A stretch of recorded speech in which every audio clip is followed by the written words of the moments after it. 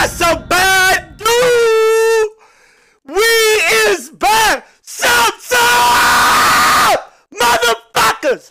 We is back at it again. And oh my God. I might end up behind bars today. We feeling fucking great. Yesterday, a little bit slower. Today, we back at it, bitch. And I'm, hey, I'm feeling like a fucking problem. Period. I'm gonna be real problematic on the Rift today. I can fucking tell you that, pussy.